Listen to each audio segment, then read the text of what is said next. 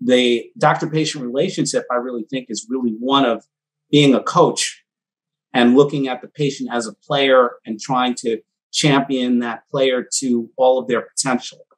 Uh, and, and so that, that that's kind of like um, really what I think is the most powerful way to have that kind of relationship. Similar, like as, as a lawyer, I tell my clients, you know, we have to work as a team. You know, I'm not given a magic wand or magic hat. I can't make stuff appear or disappear. Uh, we have to work together. Okay, good morning, everybody. Uh, today we've got a special guest, uh, Mr. Tony Martinez. Tony, how are you today, man? Hey, how's everybody doing today? Great to see you, Shawn. Uh, well, likewise, Tony. It's always a pleasure to chat with you. I know we just likewise. chatted chatted I think about a week ago, so it's uh, yeah. it's always an honor. Um, likewise for me as well. Look forward when we can sit again across a table enjoying another great steak. Yeah, if, if, we're not forced to eat bug steaks instead, I'm I'm concerned about that. Uh, Tony, if you'd be kind enough just to just to give everybody your background, I know you've got a, a you know just a sort of a very compelling medical history, but also you know what you do as well is also very interesting. So if you wouldn't mind sharing so, that. I've been I've been an attorney for the last 26 years. I've been involved uh, in the area of government relations, lobbying for like 30 years, um, and um, I've always been involved in the area of health and nutrition. Um, in fact, I should have been a doctor, but I come from a family of lawyers, and more as a tribute to my my dad, rest in peace. Um, you know, the Martinez family is a family dedicated to public service. So, born and raised in New York, uh, educated in, in New York as well. Um, had the opportunity when I was a teenager to be a United States Senate page for the late Jacob Javits. That's how I got to learn how Congress and the government works. Uh, and then I became a lawyer. I was involved with the legislative strategy and the passage of the what the law is called DSHEA, the Dietary Supplement Health and Education Act, um, which protected the nutritional supplement industry from FDA overreach. Um, and so I have a background in healthcare policy, food and drug law. Besides being the regular, you know, lawyer, if you have a problem, you know, like uh, if I can help you, uh, it's within my capabilities. I that's what I uh, I try to do for people. Um, I unfortunately had a heart attack in this in March of 2014.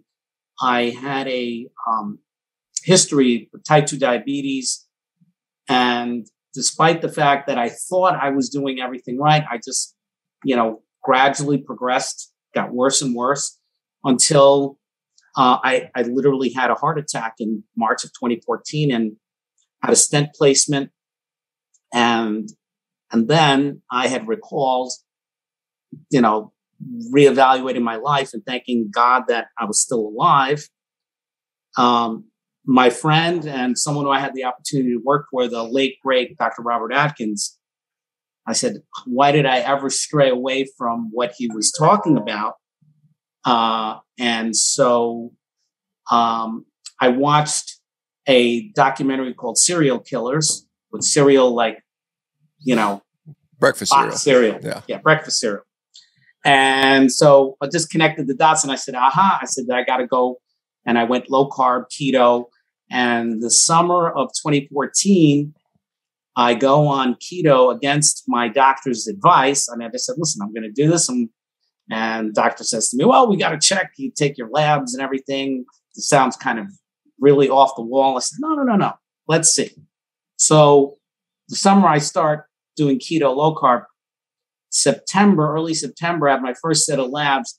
I have the first time I have a normal A1C in like 14 years. And the doctor says to me, What are you doing?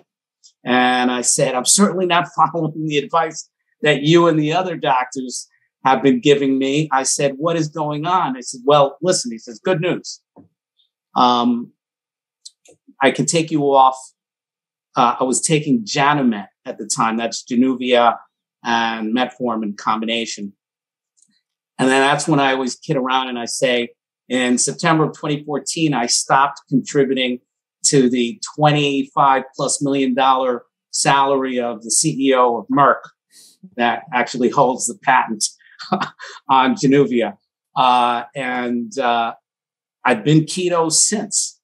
And um, along those years, now coming on eight years, I have also started, uh, I listened to Patrick Toit, who's an engineer, and uh, he uh, developed a way and he um, stated and he published his own results. He did his own experiment with himself, how he cleared his his arteries. He stopped coronary plaque progression and uh, using a multivariate protocol. There's no way pharma could ever do this. This is the kind of thing that actually Revero will be able to do, or other enlightened companies will be able to do because of using multivariate approaches.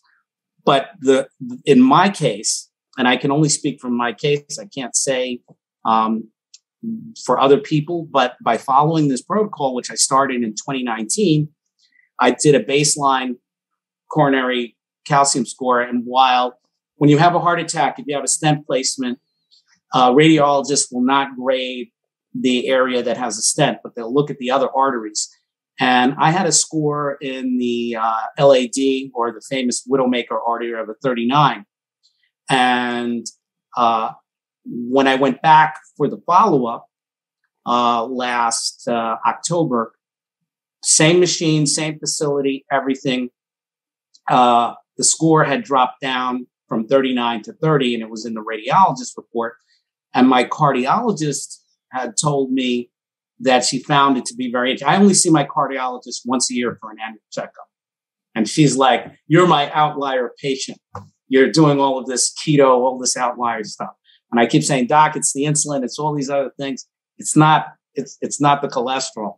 But anyway, so this got me on a personal level to be really focused on getting involved at a higher level and working with uh, good people like yourself and other uh, you know companies and businesses that are trying to deliver real healthcare uh, to other people you know to, to people who have been dealing with chronic illnesses and really utilizing the power of food as the basis to make it happen i, I know i'm speaking at length but i'll stop now and and pick up from there well, Tony, I mean, we want to speak at length. that's what you're here today. But let me just ask you, you know, so while this is going on, you know, you said it's not the cholesterol, it's the insulin, it's it's something else, Doc. Two things I'd ask you: Was your cholesterol considered traditionally high during the time you were reversing heart disease, or what was? Oh yeah. Oh, oh, oh by the way, this is the other thing that was was was fascinating. And so when I started the Toit protocol, my cholesterol has been averaging between 200 and 250. So my my when I before I went for the follow up scan, my cardiologist and my parents says, "You know, this cholesterol is high. You really should be on a statin." I said, "No, I experienced side effects. Uh, I also was upset. You know, they don't tell people the side effects of some of these cardiac these cardiovascular drugs, particular, for example, some beta blockers. Um, there's some really uh, a very impactful quality of life side effects. Uh, so, um, the do- so that even baffled my cardiologist and my primary care physician even more. Uh, you know, like how to how is it that you can stop coronary plaque progression and still have this what is now considered to be elevated in, uh, cholesterol? And I'm not on a statin. I actually take a combination of several supplements, um, L-citrulline, nattokinase, um, fish peptides, uh, that sort of like my uh, vitamin K, uh, D3, and the vitamin K is K1, K2, MK4, MK7. It's pretty comprehensive stuff. Um, Patrick Toit has a formula called concentrated K. And that's what I've been taking since 2019 on a daily basis. So my doctors were like, okay, keep doing what you're doing. I'm not, can't argue with the data. It is what it is. Yeah, it's hard. It's hard to argue with success. Um, yeah.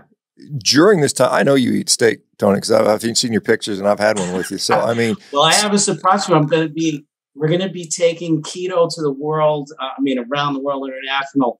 We're going to be going into. We're going to be going to Spain very soon, and nice. you're going to be part of that. Uh, well, I plan to go one of the best steakhouses in the world, a place called Casa Julian, um, where we'll have an event someday in the future, and hopefully you'll be one of the the, the featured speakers at that. I, I would. I'd be. I'd be honored to do that. Olay. It's, it's, it's, it's, tough to. I was. I was just in uh, California, you know, and they asked me what, what it would take to get me to speak there. I said, "Hey, just feed me a steak and you know get me out there and I'll do it. No problem. But uh, yeah so I'm pretty easy as long as I got steak so. Um, so let's talk a little bit about well the Toit protocol. I, you know I saw you know him and Ivor chatting about it two years ago and has he has he changed? I know I, know, I remember hearing about the magnesium and the and the, and the and vitamin K and a few other supplements. Is there a dietary protocol that goes with that? Is it low carb? Is it keto? Yes how, how does, yeah it's low carb keto. But I mean what I really find both fascinating and also stimulating, creative is the way that Patrick describes the health system, the cardiovascular system, like using what I what I I've used the term like a symphony, symphonic approach. And he uses the the great metaphors. It says it's like once you have an understanding of what's going on in, in your cardiovascular system, it's like there is a there's a symphony and you've got to have the right number of musicians the right number of instruments the right composition to conduct all of the music correctly so that you can get it to be doing what it's supposed to be doing. And if you are if you've been in an inflammatory process a diseased process it's about stopping that process and then reversing it and it takes time. It does not happen overnight. It will take, in probably in most people's cases, it'll take years because the damage that we've experienced has occurred over so many years because of our lifestyle. And it's the combination of everything. It's the diet and the exercise and then our genes. You know, we're always up against that as well. So it's the combination of those things. But for me, so far, so good. And I'm continuing the protocol and actually following, you know, it, it takes, it's a lot of supplements. But like again, it's so far so good. Yeah, we should probably we should probably interview Patrick if he's if you think he'd be willing to. I mean, I'd be interested to talk. I, I, can help set that up. I mean, I we are uh, he and I are that became would, become very good friends. That would be great. That would be great. So Tony, I mean, you know, the critics would say, well, you know, 30, 39, you know, that's that's a nine point, you know, and again, it's the same thing. It's not that big of a difference. You didn't have that much to start with. You know, it's it's about a 20, you know, 25% reduction from where you were. But what about, you know, cardiac function? Because you got one study there. I mean, when you had your heart attack or prior to your heart attack, any difference in you know, like we can look at things like ejection fraction. We can look at right. look at look at performance. You know, what can I do physically? If you've got a bad heart, you're not going to be performing as well as you could. Are, are you? Can you objectively? Well, something else. Something yeah, else that I did after, mm-hmm. after that. I mean, I did a cardiac stress test and I passed it. I mean, everything was fine. Um, the ejection fraction rating after my heart attack definitely went down, but I recovered that. Since I've since recovered what I lost. Yeah. Uh, and so, like I said, my cardiologist, God bless her, um, uh, she says to me, you know, you're my outlier patient. I always, I always, I always find, I always enjoy seeing you. I go, I enjoy seeing you once a year too, Doc. I want to keep it that way. Yeah, well, or, or even less. We most of us would. Most of us, I mean, most physicians are nice people, and I like, you know, but I'd rather not see them. You know, it, it, at least no, not no, no. in professional I mean, capacity. It, it's fine. I mean, you have to understand in my case, I've had, I mean, I've had a heart attack and I've had a stent. So I have to be sensitive to that reality. Um, and that, you know, it, it depends. Um, you know, you have to, you sort, you have to, you have to gauge how much involvement you have.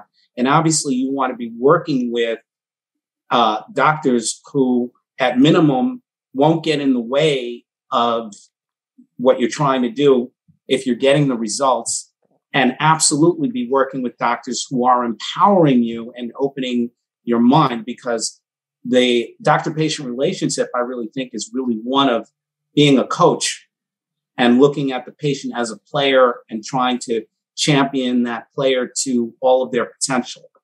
Uh, and, and so that, that that's kind of like um, really what I think is the most powerful way to have that kind of relationship. Similar, like as, as a lawyer, I tell my clients, you know, we have to work as a team. You know, I'm not given a magic wand or magic hat. I can't make stuff appear or disappear. Uh, we have to work together. And when we do that, the probabilities are in our favor for the best outcome possible.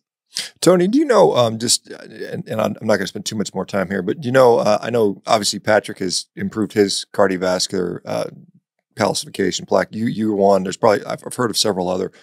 Any idea on the number of people he's been able to actually demonstrate objective reversal?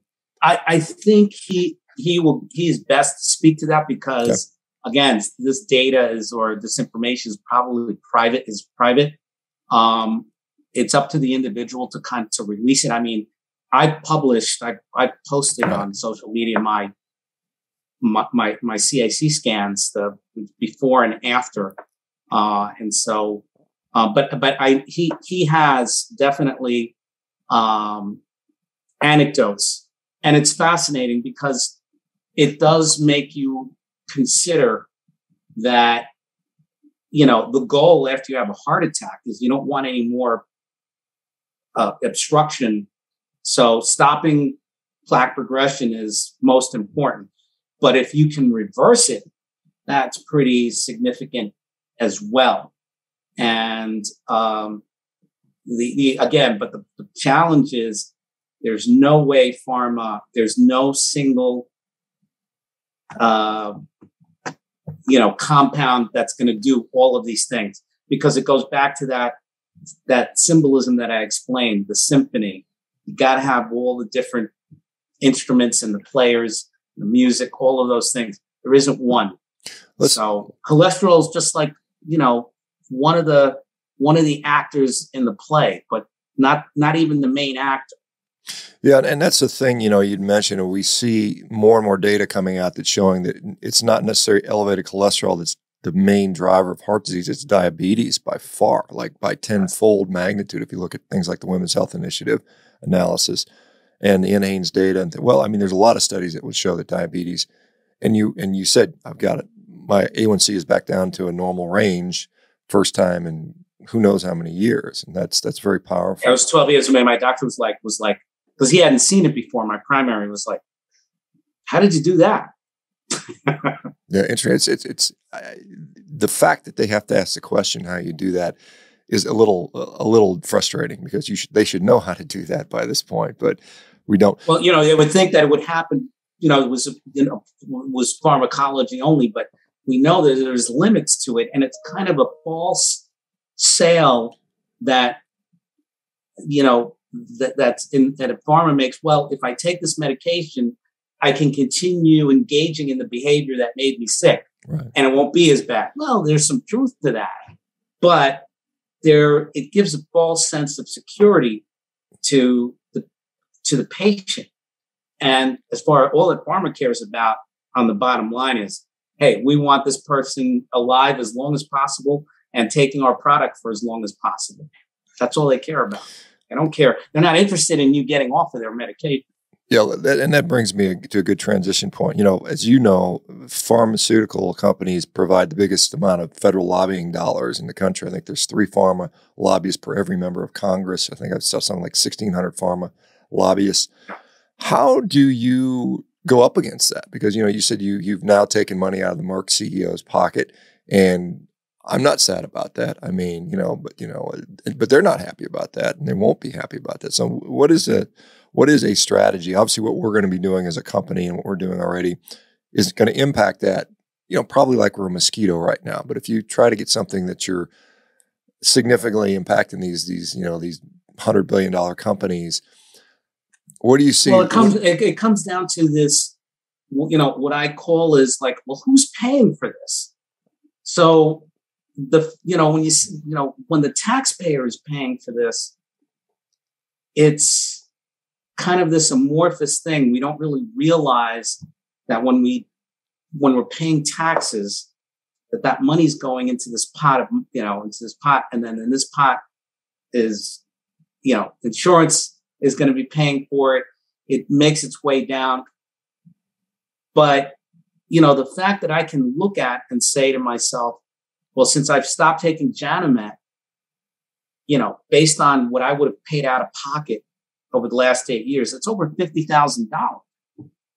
Now, that's real money. And what have I done? What I've been able to do by having those savings, I can now, I've been able to spend it on other things, including eating better food. Uh, and so, uh, to, the, to make the case at the, at the government level really has to go down to, um, showing, hey, we are spending X, um, on healthcare and it's taking away all of this money from other things that we need. You know, there are other things that government has to provide, like infrastructure, um, security, uh, you know, research and development. If all the money's going to taking care of sick people, um, it deprives the state or the government from doing things. Now, in New York, the state controller did a report back in 2015, 2016 showing that uh, the state of New York was spending like over a billion and a half just on diabetes related care, and that it was impacting the state's ability to allocate resources for other things that, that New York State needs. And so that can be the basis to get the attention of the politician. Because just because you've got three lobbyists, pharma lobbyists, on you. At the end of the day, you've got to you got to make sure that the lights are on, the police are are doing their job, the mail is getting collect, collected and sorted, you know, all those things that government does. So when we don't have infinite resources and people don't, uh, you know, uh, people aren't aren't, aren't thrilled, uh, especially these days, wondering what are we getting? What is the value that we're getting for the government services that we're paying for? So this is that combination. I don't see it as an insurmountable thing. Um, I think it will change also if we were a, if we would be able to get rid of uh, corporate uh, financing of elections, um, taking out the distortion of money out of politics and equalizing it, um, the making financing more public or public, that will take the advantage that pharma has had. Yeah, they have an enormous advantage, and you know, one of the things you know, you're in New York. I can't remember if you're, you're are you in the cities, Tony? Are you in New York City as well? Yeah, I'm in, I'm in Westchester County. Okay, uh, but I mean, it's like just right outside. I'm, I'm about 45 minutes from Manhattan. Yeah, because you're you're well in, in New York City. You know, the mayor Eric Adams is now pushing for a what do you call yes, it? Plant plant based centered life or whatever he, whatever kind of nonsense. Well, he he, he had a with. coming to Jesus moment with his own health and God bless him. I know Eric Adams. I met him. Um, but you know, going vegan, vegan works for him. And it's it made him like, you know, go off the deep end uh, on this. I never tell people when I tell them my story that they have to do what I'm doing. I simply share with them and say it's an option. And the fact that, you know, I happen to like to eat meat, beef and I, you know, I expect to eat it to all rest of my life. So I want to be, you know, I want to be able to do it in a way that supports my health, and I do that. So, I mean, we shouldn't impose it. We should simply say it's an option, and I just don't. I don't agree with the vegans. So, you know, if I was to see Eric today and tell him, you know, we I, I don't agree with meatless Mondays, meatless Fridays. I think it's crazy. Get rid of the processed food that our kids are are are getting. Get rid of the skim milk that you know you're giving to school children. Go back to whole milk. I mean, for goodness sakes, th- there are textbooks, you know, how to fatten cattle by giving them cereal and skim milk. And like we as human beings or mammals, that, that's the exception. I remember breakfast cereal companies, you know, advertising, you know, the, you know, eat the, eat the cereal with skim milk and you'll get strong and thin and all that. It's all BS. Yeah, it's the the low fat dogma, which is still pervasive despite all of the, uh, you know, the negative negativity we've seen that is, is just so powerful, and it's it's you know it's obviously funded by the message yeah. is obviously funded by companies that stand to benefit from this sort of messaging.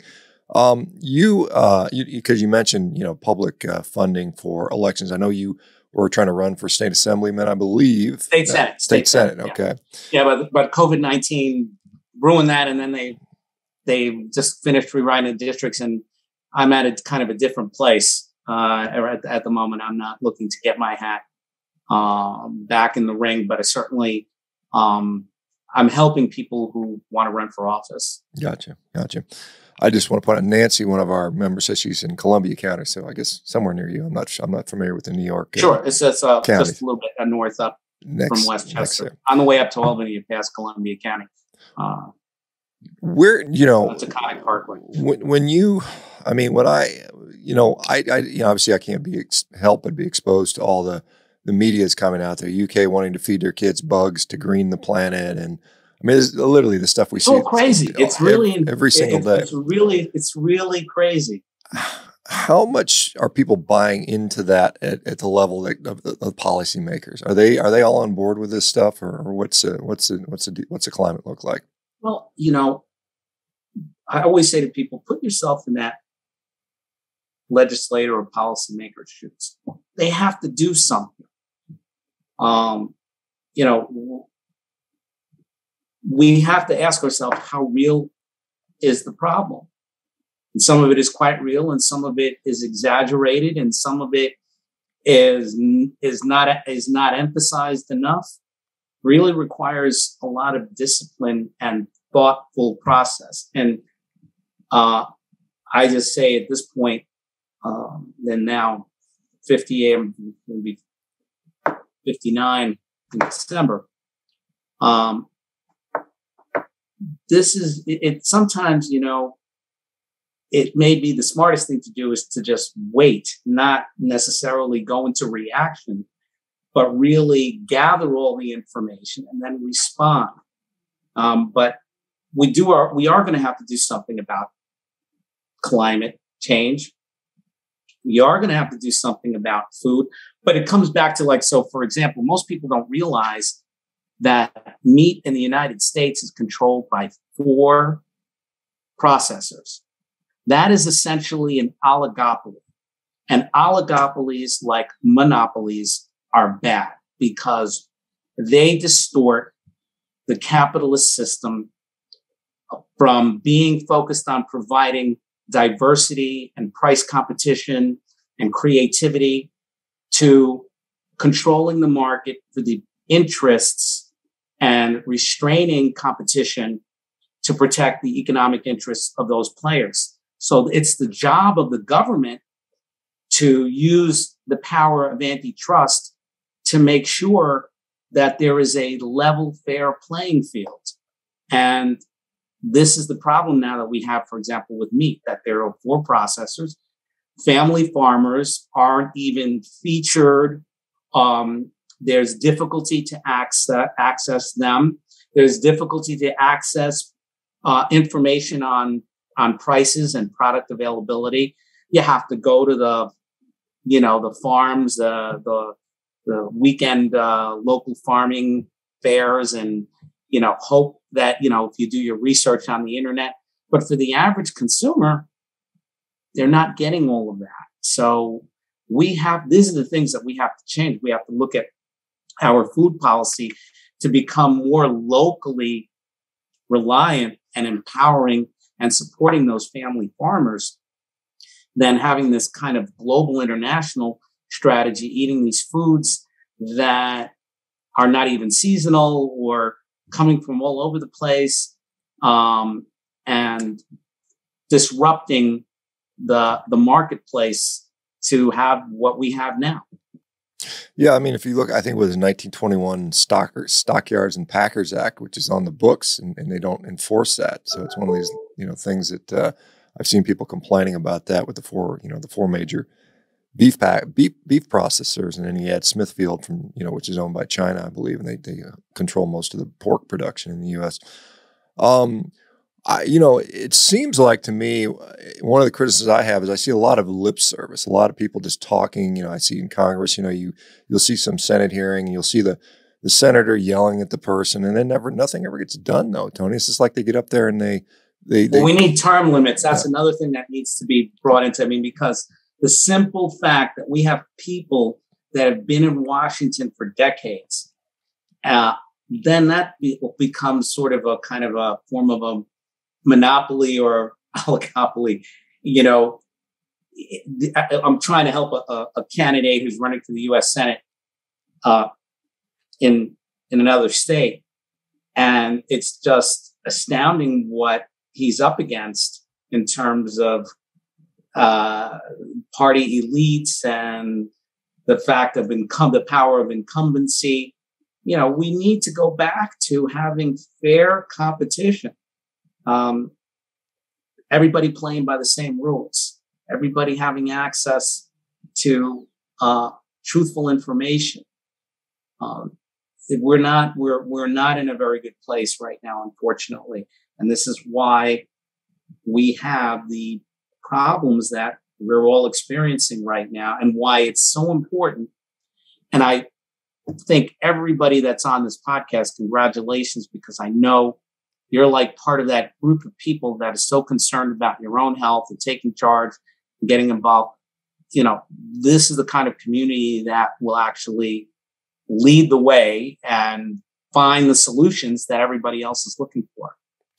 Yeah, I, I, do think, you know, just because of conflict of interest, and you mentioned there's not a big incentive to cure disease. There's not a big incentive to get people truly healthy. It's more, let's just kind of maintain them in their state of disease with a little bit less misery, maybe we can we can mask some of the symptoms and just kind of milk them out for for profit for you know 30 or 40 years until they finally drop dead. Right. That that unfortunately is the reality. And I think, you know, I thought I think I think Goldman Sachs did an analysis of the pharmaceutical industry when they asked the question, is curing people a bit a sustainable business model?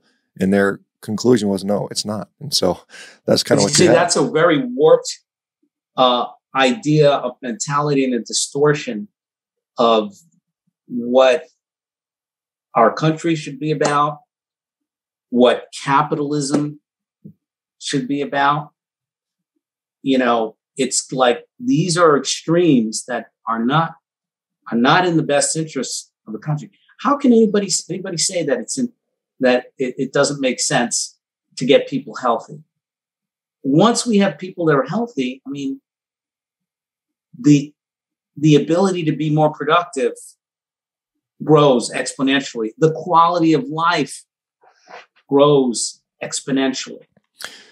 Yeah, I think when we talk about sustainability, because we hear nothing, you know, we hear so much about sustainability. You know, all these companies are sort of kind of virtue signaling their sustainability by, you know, various different methods. But I mean, healthy people are sustainable, and, and unhealthy people are not sustainable. You know, exactly. You know, you look at the, you know, you look at the greenhouse gases that the healthcare industry puts. That's like ten percent of our greenhouse gases, which is a huge, huge part, not to mention how much money it costs. And so sick people are not sustainable. I think that's a message messaging that I'd like to see uh, put out there.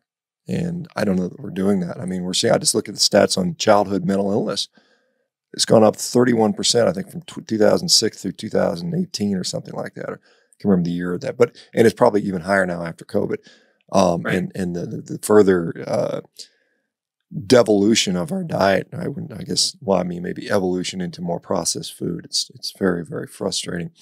Um, does you know? And, and again, you know, we're all aware there was this horrible, horrible, horrific uh, shooting in Texas, and you know, there's of course there's the arguments about you know gun control versus not but at the same time we're ignoring i think some of the role nutrition has on mental health i mean i think well oh absolutely I, I had the opportunity to be at the metabolic health uh, the symposium and summit in Santa Barbara earlier uh, this month in May, and it was a great conference. And one of the mantras that came out of that conference, which I really, really liked, was that mental health is metabolic health. And that really is should be the policy goal metabolic health. We wanted to have a concept or a goal to to get around to align align behind. It's metabolic health. Because metabolic health addresses the physical and the mental health challenges that most of us have. And um, we know a lot of us know anecdotally from either our own experiences or people that we have met in this community where their mental health or mental health issue was resolved by changing what they were eating.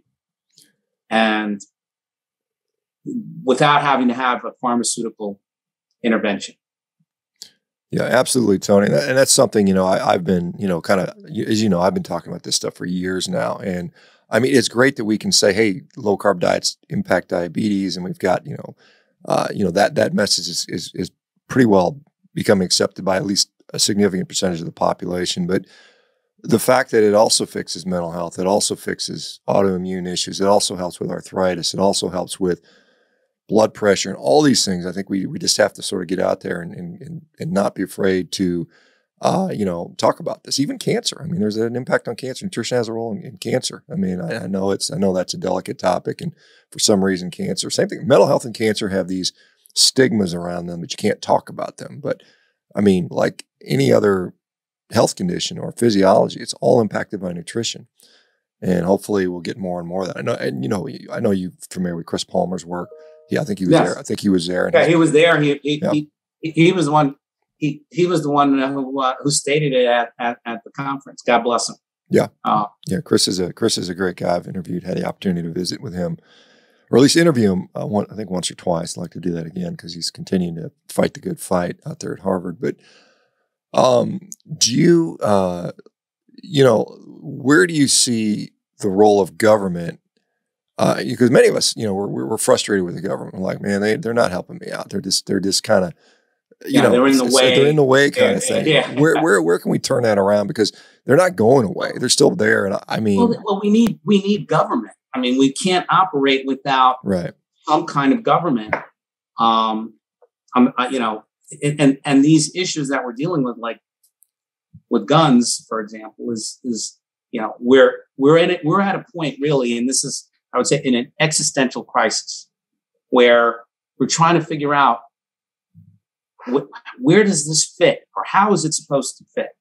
You know, uh, like with guns, what are, are there any limits to guns? What are they? What rights are, are there any limits? Are they absolute? We're struggling with that as a country. And it's the same thing that we're dealing also with health because I simply say that we, it's incumbent upon us to be the engineers of changing that system of favoring and profiting from sickness and disease to changing that to rewarding and empowering good health. You know, we need to be empowering the doctors who get the diabetes reversals we need to be giving them the financial rewards.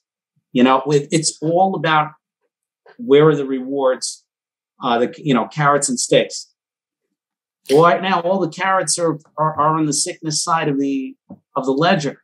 There's no carrots on the health side of it. So we have to change that. We only way to do that is step by step. All politics is local. You start at your local community, your town, your district, your assembly district, state senate district. Um, and then it goes up because the federal government uh, can only do so much. Health is regulated in part by the federal government, but the practice of medicine is regulated by the states. Insurance is regulated by the states. The only contrast to that is you have uh, Medicare, uh, which is a federal program, and um, the practice of medicine is not regulated by the federal government, but the federal government can influence it in a positive way because the federal government provides money and resources to the individual states. And by implementing policy saying states that have these kinds of programs, we're going to allocate more funding to you. So that's going to, you know, every state's going to want more money. Like, okay, what do we got to do so that we can get our fair share of whatever that federal money is? That's kind of the dynamics that we have to go on with. And we also need to be looking for new people to run and, and get elected. You know, how many people listening out there in this audience ever thought about running for office? You know, the idea of public service is for a time, not a lifetime career. You know, if I had the opportunity to be a, a congressman or a senator, absolutely would put a term limit on myself. I would only going to be there to do whatever I say I'm going to do, and then, you know, I step aside and move away for somebody else. I mean, that's the way it's supposed to be. Yeah, who? I mean, when we think about like, you know, I, I, am obviously very opinion on what I think we should do with health. I mean, I think we're not measuring the right things. I think the, the metrics need to change. I think the methods need to change. Who do you got to talk to though? I mean, how do you, how do you, I mean, who's the guy? I mean, who are the people? Who do you got to, who do you got to, who do you got to convince? Uh, well, it's, it's about, it's, a, it's really incumbent upon the individual to create a relationship uh, with and establish a relationship with the people that represent them and serve them. I mean, it's as simple as, you know, and we live very busy, very hectic lives, very stressful lives. But how many people go to town meetings? How many people even make requests of their elected representative's office? Even more so, how many people know um, their local officials, uh, local police department, local ambulance court? We all have to be doing a little bit more in these areas so that we can connect.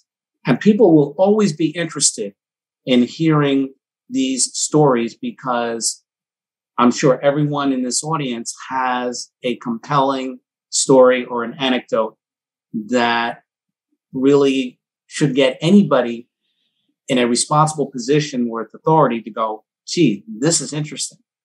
Now, how is it that this guy or this woman um, is no longer on taking this prescription medication or is looks 180 degrees different from when I last saw them. What the heck did they do?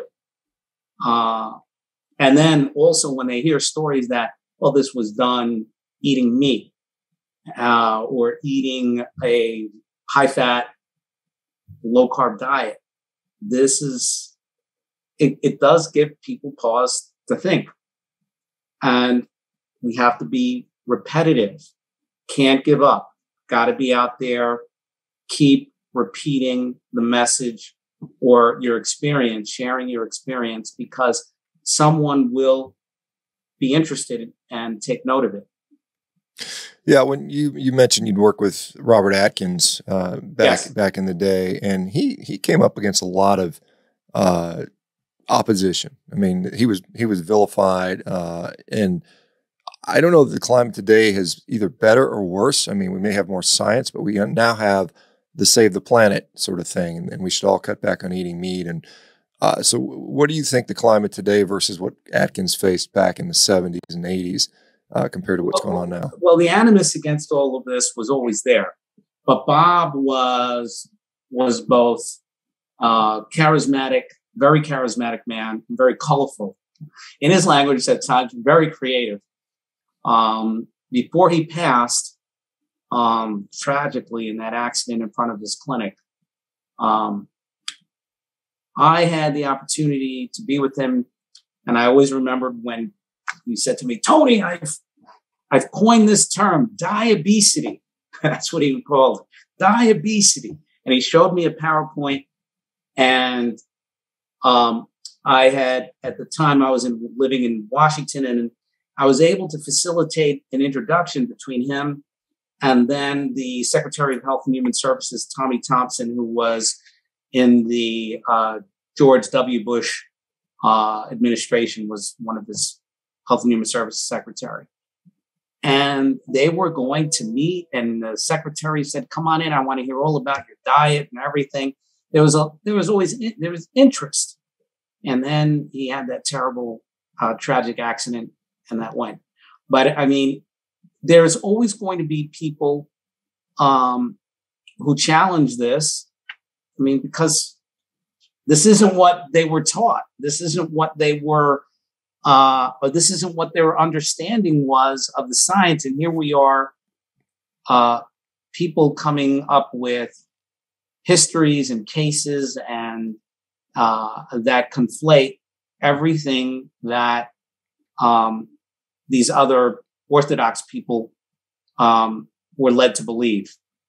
You know, so uh, the, the, the key is is to be consistent. I can say to you, Shawn, as Revero begins its its business journey, it's going to encounter challenges. It's going to push up against um, competitors, but also perhaps I can see sometimes in government or regulators because it's it's going to be doing things differently, and it's going to be getting results that will call into question other results.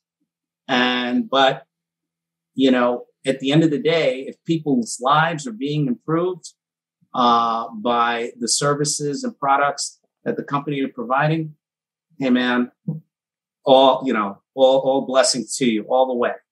You deserve it. That's, mm-hmm. that's what it's about. Yeah, Tony. I mean, and ultimately, the the reality is a lot of this is about going to be about money, and it's going to be whose money who is who is incentivized to have healthy people? I mean, other, the people obviously. I mean, no one wants to be sick. No one wants to be on medications. But at the end of the day, somebody's got to be incentivized financially for this. Where do you go? Is the government? Can we say, hey, we can save you?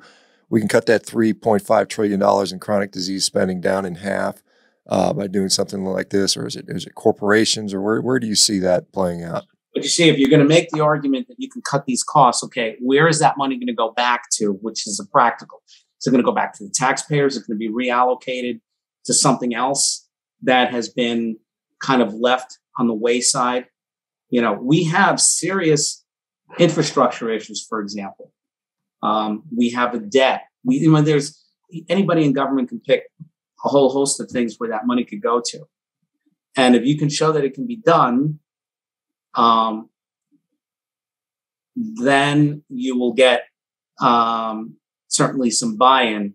And you're also going to get buy-in immediately from those officials that have the personal experience uh, that of you know either they're either they themselves or someone they know, a friend or a relative that has that story because that's how it's all that's how all of this stuff is really driven it's always driven by personal experience yeah, it's not hard to to to to to put a talk together in a room full of even five or ten people and say, who do you know that has diabetes? Who do you know that has chronic disease? And every one of them is going to know a sister, a cousin, a mom, a brother, a friend. Everyone knows this. We're all touched by this, so it's not hard to make it personal for most people, which is it's the nice thing, but it's also the bad thing because it's so common.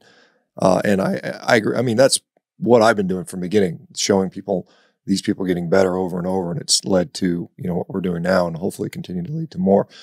Um, where I think it'll be really important for uh, practitioners like yourself, or you know, for and any of the practitioners to be keep putting out the case histories. Very important because right now that's uh, you know until there are more studies being done and the kind of studies that um, look into this, uh, you know, demand that the NIH research some of this stuff because again, there isn't a financial incentive for a company to get off of these things. That's kind of like the dark side of this is that there isn't the incentive. You know, so we have to create that and kind of force those incentives. You know, if you keep showing uh, you know your patients that you're you've put all of these number of x number of patients uh, into dietary remission from diabetes or whatever the chronic condition is, eventually it's going to get somebody's attention in a good way, not in a bad way, in a good way. Only your competitors will get upset by that. Go, oh my God, you know. But and it, it, it, it, it is a comp, it is a competitive playing field. We have to compete to get the attention uh, of the policymakers and the people. You know, a lot of people don't even know that this is even an option. Like what they just did with the dietary guidelines, totally ignored the low carb aspect. Why? Why, why, why is that, Tony? Why do they keep ignoring it? What do you think? I mean, is, is it, you know, is there, it the conflicts of interest at the USDA? Agenda, yeah. Uh, uh, the people on that committee, uh, you know, everybody doesn't want to upset the apple cart. There's also one other kind of a contextual problem from a government standpoint, and that is the regulation of food has been bifurcated between the Department of Agriculture and the Food and Drug Administration. So you don't have that focus on healthcare that you have on all other aspects, medical devices, pharmaceuticals, uh, because nutrition has been kind of split between the business and economics, which is what the USDA does, and then the kind of the health and wellness side, which is what FDA is supposed to do, but it's sort of mixed. And FDA's mission is to always keep bright lines, distinctions between foods and drugs and regulate them like that.